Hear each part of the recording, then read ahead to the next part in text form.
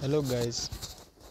This is Masbi Tech 254 and today I'm going to show you how to repair a digital box a T2 receiver digital box receiver. Here with me it's a Sona decoder. As you can see this decoder is the power cable. When I plug it in the electricity the decoder doesn't come on. The decoder doesn't power on. You can see the decoder is still off. So what I'm going to do I'm going to open the decoder make sure to unplug the cable from the power and screw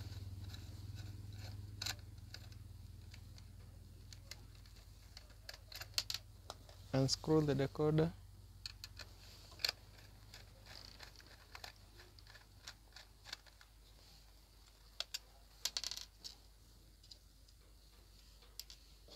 After you are done unscrewing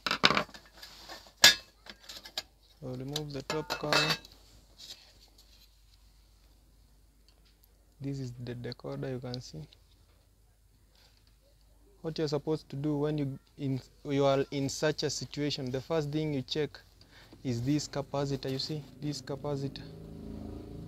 This capacitor is rated uh, 1000 1000 uf 16 volts.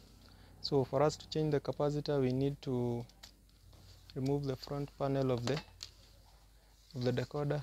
Is our decoder. This capacitor 1000 UF 16 volts is the capacitor we are going to change?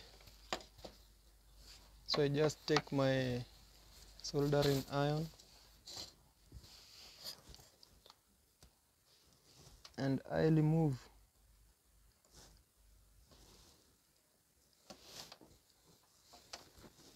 I remove the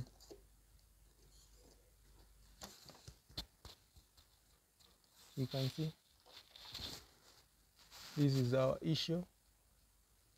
This is what was affecting the, the, the decoder. You can see it's bulged on the it's bulged on the lower side of it.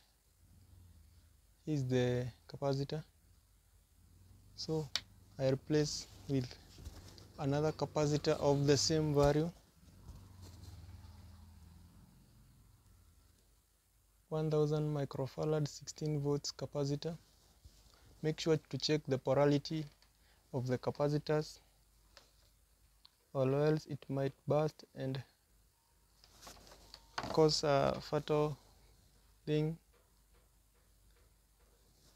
what I do now I just take my gun and the soldering wire.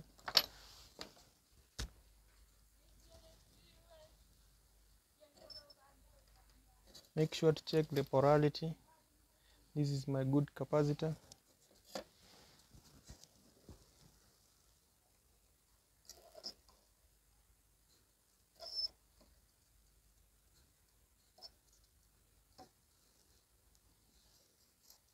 After you replace the capacitor you can now confirm.